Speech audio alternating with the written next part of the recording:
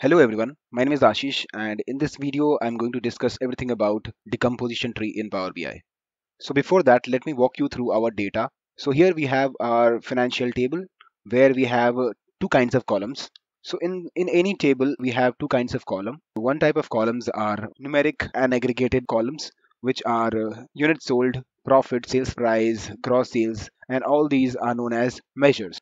Now there are some non-numeric columns which are known as a dimension or categories, which are country, date, discount band, product, and segment.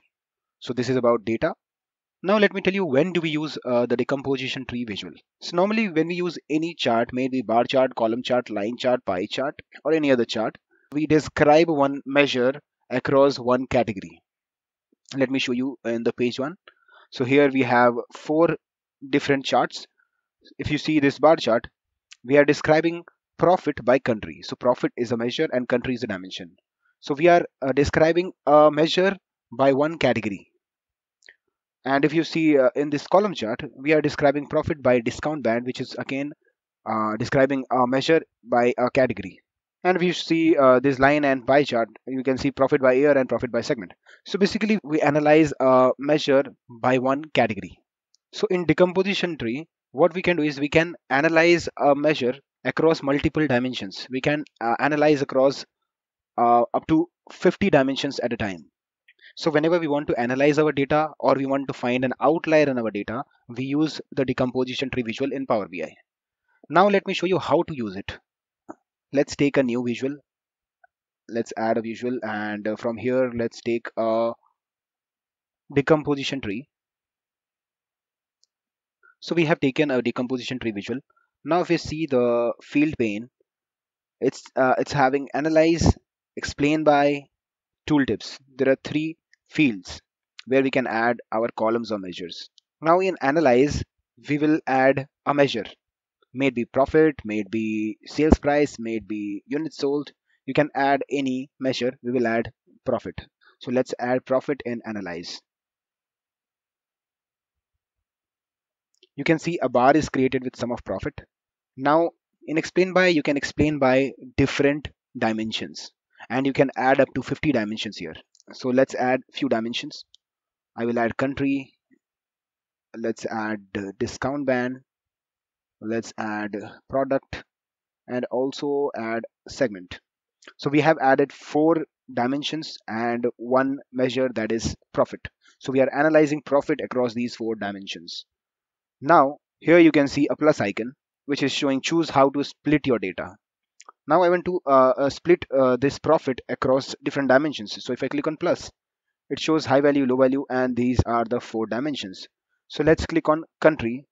So it will show me uh, the profit by country and it is uh, arranged in descending order. So France is having uh, the maximum profit among all the countries. So now if we again click on plus icon and add and now suppose I want to see which segment is uh, having a maximum profit in France.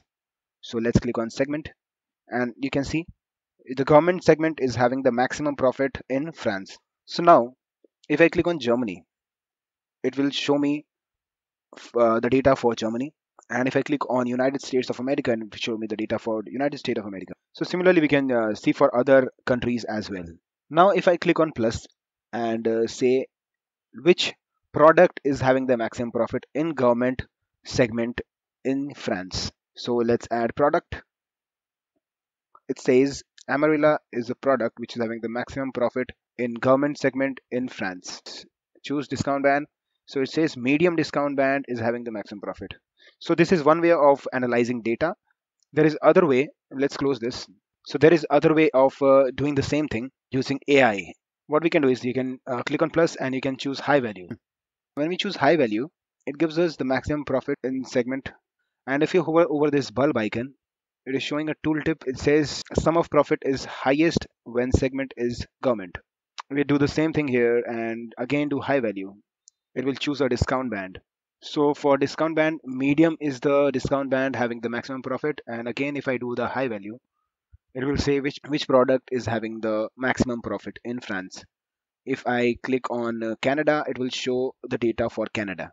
so using this visual we can analyze our data very quickly and we can find any outliers in our data. Now if you want to see which product is having the least amount of uh, profit uh, we can do the same thing again. If i click on low value again low value. One more time let's say low value. So if you see let's click on mexico and we see this carretera is the loss making product across uh, this high discount band. Uh, so we can quickly do decision making with this one single visual so that's why this uh, ai visualization is very powerful in decision making and finding uh, outliers in your data or doing analysis in your data. So that was it for this video. If, if you like my video do not forget to subscribe my channel. Thank you everyone. Thanks for watching